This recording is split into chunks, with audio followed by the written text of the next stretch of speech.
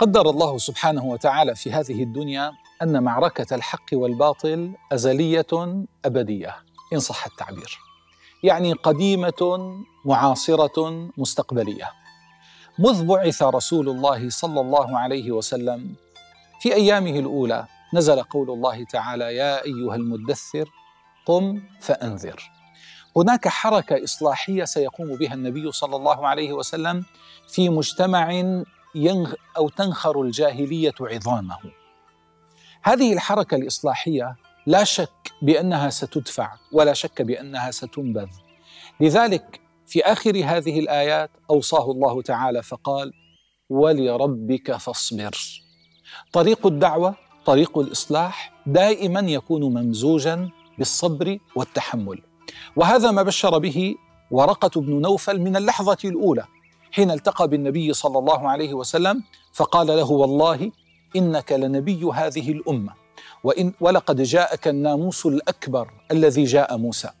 والله لتؤذين ولتكذبن ولتخرجن ولتقاتلن هذه الأربعة بشره فيها. قال وإن أدركت ذلك اليوم لأنصرن الله نصرا يعلمه وفعلا النبي صلى الله عليه وسلم حمل لواء هذه المجاهدة مجاهدة بالكلام مجاهدة بالحجة مجاهدة بالموقف مجاهدة بخلق الظروف المواتية للدعوة. وأخيرا كانت المجاهدة بالقتال بعد أن خرج النبي صلى الله عليه وسلم من مكة المكرمة.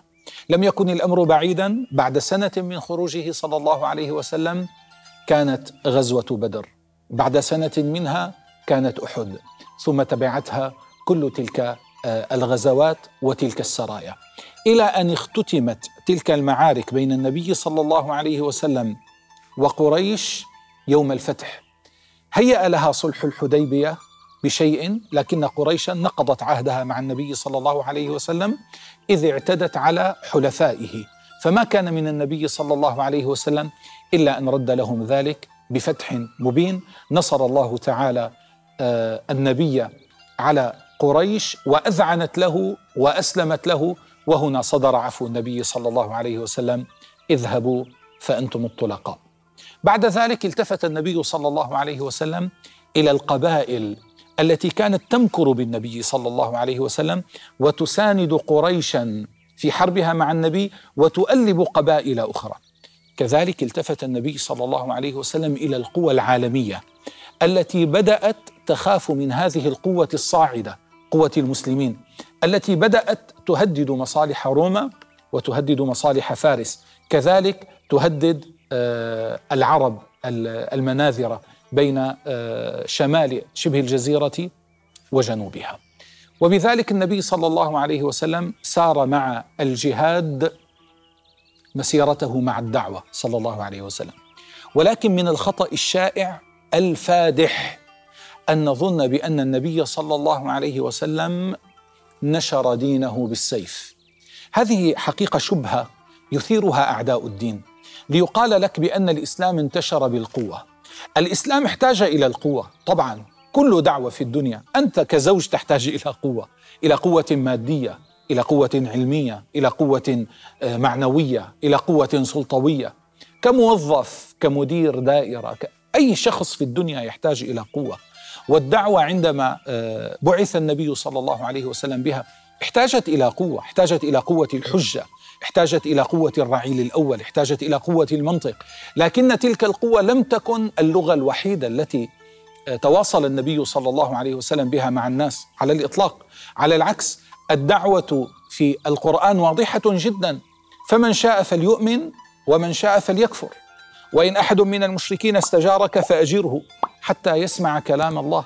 ثم أبلغه مأمنة. في آية أخرى يقول الله سبحانه وتعالى لا إكراه في الدين قد تبين الرشد من الغي. والعجيب أن سبب نزول هذه الآية رجل من الأنصار أتاه ولداه وهم على الشرك فأمسكهما وحلف الا يرسلهما حتى يؤمنا. فلما تخاصما إلى النبي صلى الله عليه وسلم الأبناء والأب. نزل قول الله تعالى لا إكراه في الدين. فقال الرجل يا رسول الله أيدخل بعض النار وأنا أنظر؟ قال النبي صلى الله عليه وسلم لا إكراه في الدين. قضى الله ذلك الأمر أنه لا إكراه في الدين. هذه أول قيمة النبي صلى الله عليه وسلم ضبط بها جهاده. ضبط جهاده بالرحمة اولا. النبي صلى الله عليه وسلم كانت غزواته مليئة بالرحمة رحمة على الجيش ورحمة على العدو. وهذا يأخذنا للمنطق الثالث وهو حقن الدماء اولا. لم يرد النبي صلى الله عليه وسلم أن يجري أنهارا من الدماء. ما لهذا بعث وما بهذا أرسل؟